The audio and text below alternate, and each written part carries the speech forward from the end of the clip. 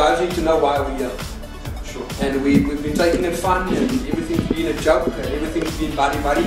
But uh, you went first, so it's not going to be easy. We need to see exactly what's happening and we need to see exactly if people can think on their feet.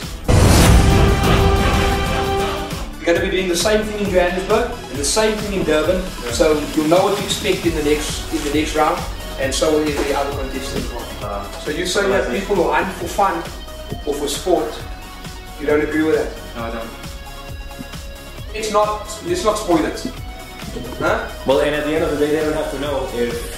They don't have to know. How many If the last three and there was, and there's, we're running out of time. You know what I mean? It's. I think it's very exciting, man, to hear all the topics. Each one is interesting. Okay, next guy can come.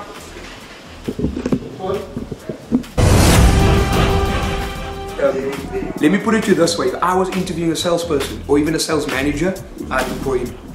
You know what I mean? Because I, I, I, you know, I interview a lot. Perfect way of speaking, perfect, uh, perfect mannerism, the way he sits. No, I know, but did you notice when he came? He immediately, I like to check where they were. He went to the corner, he put his leg up and he sat like a man. He owned the questions. I mean, he, he had it. He interviews well. He interviews well. Carry, can I carry on on this topic? Okay. So what you are saying is that if I am the CEO of my company, my employees should know what salary I'm putting. Similar to if a politician who is the CEO of our country, you would want his workers, which is obviously the people that elected him there, to know exactly what he's earning. Is that what you're saying? Yep. And I told them that when we had our when we had our welcoming, we're going to be judging you on how you choose to dress this weekend, if you know what I mean. Anyway. Okay, is that four or five done? Can you be a CEO of a company? Do you have the mentality to get there one day? Because that is what people pay me to do. A lot of money just to speak to people and to sum them up. And this is this is I'm loving it. I'm loving it. It's exactly what I want to do. Okay, next guy. How old are you? 32. 32. What line work you? in? Sales. So I fucking love whatever this guy just said now. Everything about this guy I just love.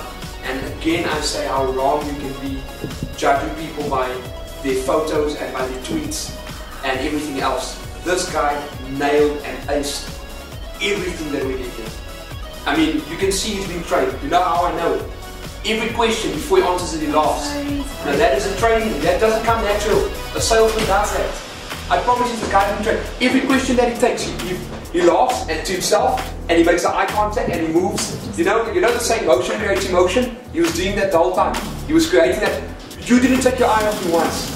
I'm loving this. You know, it's. I'm just getting a different perception. I, I mean, I was at, at a club with a guy last night, dancing with him. I couldn't. I, he looked like he couldn't say two words. I didn't know it. I tried to have a conversation with him.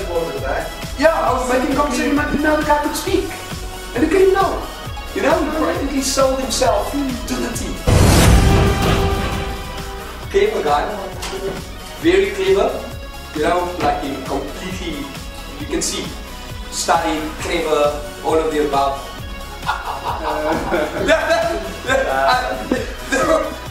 Delete!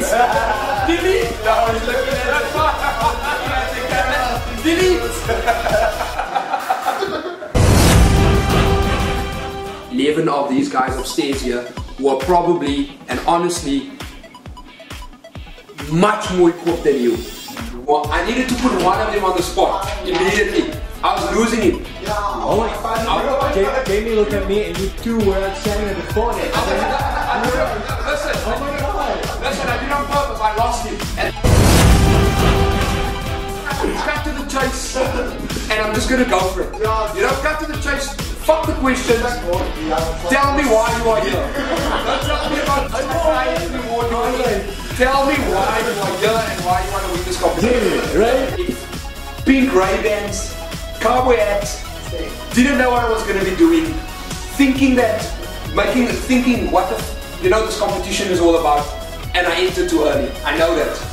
Sitting here today, you can look back and you can make fun about it and say, listen, I don't blame the people for telling me, listen, you, you're out of your depth. They were honest with me. At 19 years old, you shouldn't ask. This guy's 27 though.